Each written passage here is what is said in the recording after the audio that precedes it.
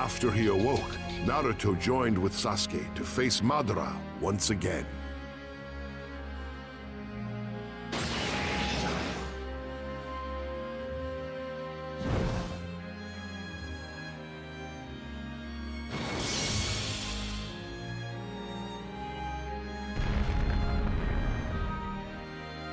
Madara had absorbed the Divine Tree, gaining an immortal form.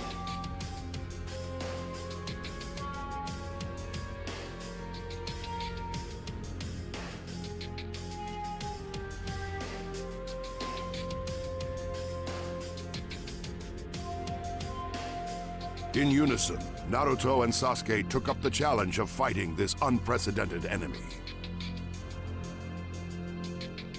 You cannot defeat me. I have the power of the six.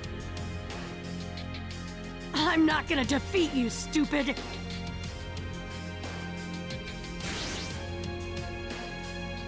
We're gonna defeat!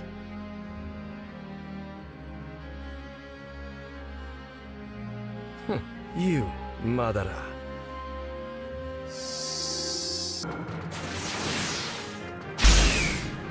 Right there!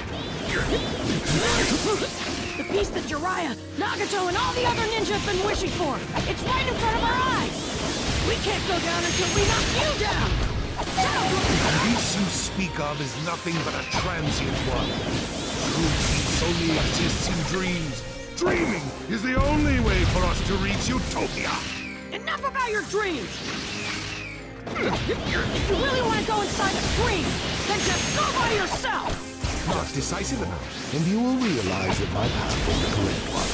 My infinite Tsukuyomi will lead people to true happiness. The path of the shinobi will end. Path to a new dream shall begin. Your brain must have rotted while you were underground all these years. The infinite Tsukuyomi isn't to end our path. We've still got a long way to go. We're going to protect the path of Shinobi.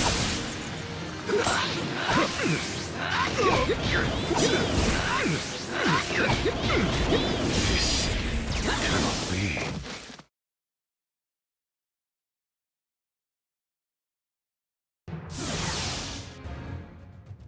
Ah!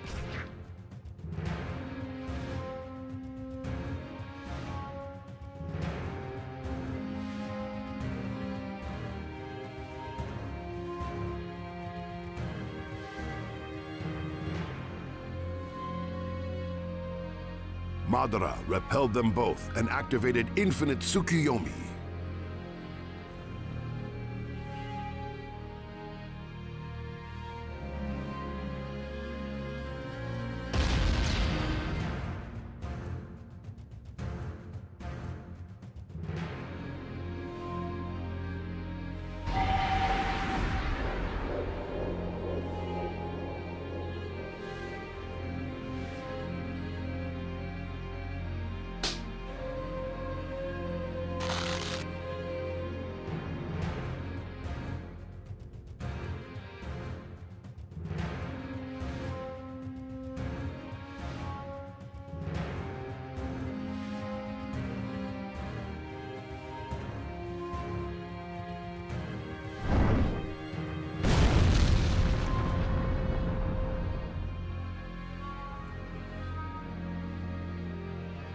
However, immediately after, he was stabbed in the chest by Black Zetsu.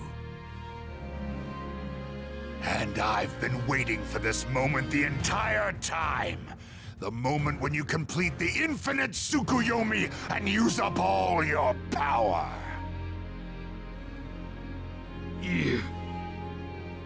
You ingrate.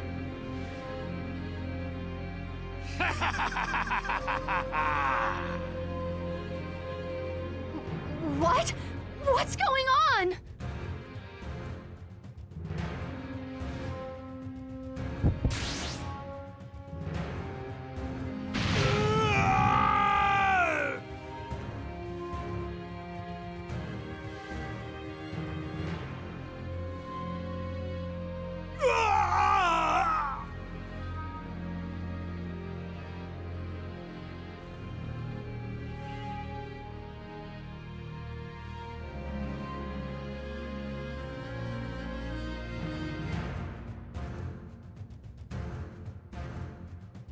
Where Madara had stood, there then appeared the progenitor Kaguya Otsutsuki, who first possessed chakra.